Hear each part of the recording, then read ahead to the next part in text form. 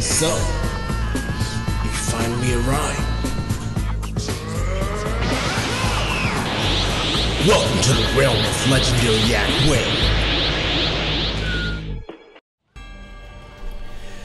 Hey guys, what's going on? This is your boy Legendary Agwang, and oh my god, dude, this whole Super Saiyan God Vegeta thing has got me in a stir right here. So, somebody's basically kind of giving me um the update with the manga version of things, and apparently they've confirmed that Super Saiyan God is stronger than Super Saiyan Blue. Now, at this point, you know, and actually not really at this point because I've been come to the realization that I felt like they really didn't care about the writing because this whole situation has been pretty vague. I really didn't get I always thought that normal ki was basically inferior to God ki. So when Goku was like, oh, you know, when he was explaining to Frieza what that form was, he kind of gave the impression that he was he got a little taste of the Super Saiyan God ability that he couldn't fully control it.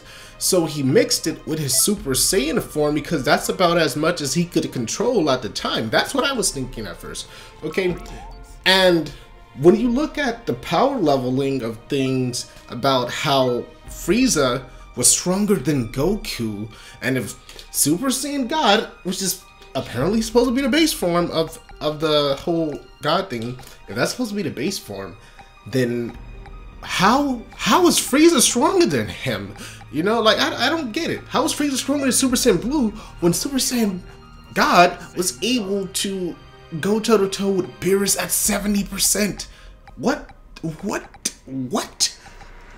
How can Frieza get that strong? That doesn't make any sense. Like we we've gone through like I mean it already didn't make sense when I was thinking about how, how much stronger Goku had gotten when they were fighting, you know, Cell, the androids, Kid Buu, and now Beerus?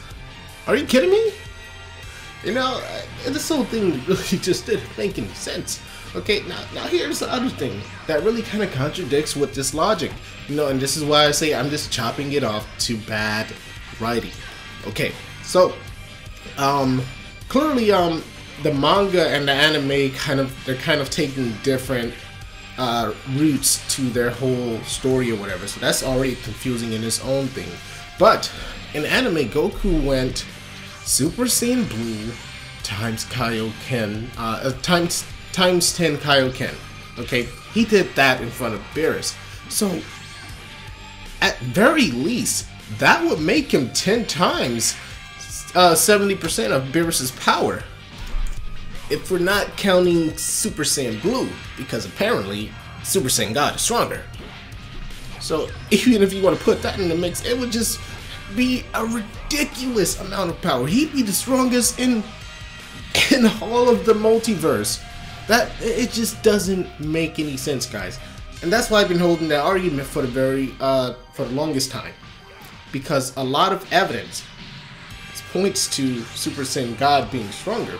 You know, and I really don't get this whole getting skinnier thing when you go Super Saiyan God, but you you go back to normal when you go Super Saiyan Blue. That's the, another difference that they have in anime. You know, I noticed from those scans last night that Super Saiyan Blue, uh, Vegeta was more bulkier than Super Saiyan God. But in the anime, they're all the same size all the time. And in the movie, Vegeta was still skinny. Vegeta and Goku, they were both skinny. You know, I thought that was just an art style or, or, something. I don't know. Um, but it, it really just doesn't make any sense to me. I don't even know how he got the whole Super Saiyan God thing.